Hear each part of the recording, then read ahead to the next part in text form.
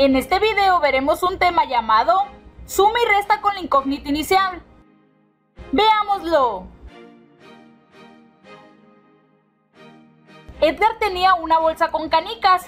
Al jugar perdió 15, pero su primo le regaló 6.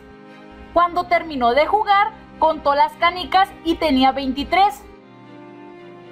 ¿Con cuántas canicas empezó a jugar? Para resolver esta problemática tenemos que identificar la incógnita.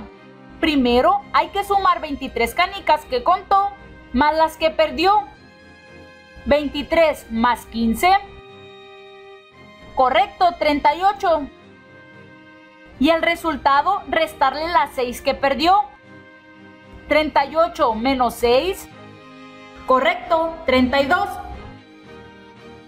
Podemos comprobar el resultado restando 32 canicas menos 15, ya que son las que perdió. 32 menos 15, 17. Y el resultado, aumentarle las 6 que le regalaron. 17 más 6. Correcto, 23.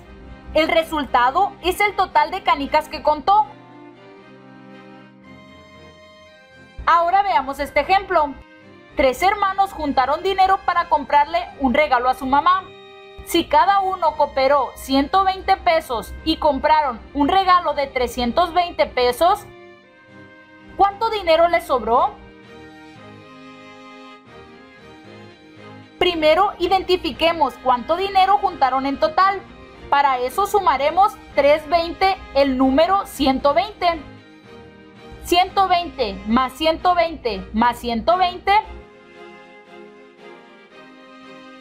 Correcto, 360. Después restamos lo que se gastó en el regalo. 360 menos 320. Correcto, 40. 40 pesos le sobraron. Ahora veamos este ejemplo. Edgar compró una rebanada de pastel y una gelatina. Si pagó por ambas con 50 pesos y le regresaron 8 pesos de cambio, ¿qué precio tenía el pastel considerando que la gelatina costaba 12 pesos? Para resolverlo, sumaremos el costo de la gelatina y el cambio que le dieron. 12 más 8, 20. Entonces restamos esos 20 pesos a los 50. 50 menos 20. 30. Muy bien. 30 pesos fue lo que costó el pastel. Por último, Ángel tiene tres bolsas, cada una con 25 paletas.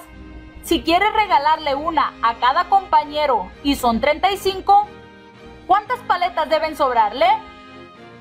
Primero identifiquemos el total de paletas.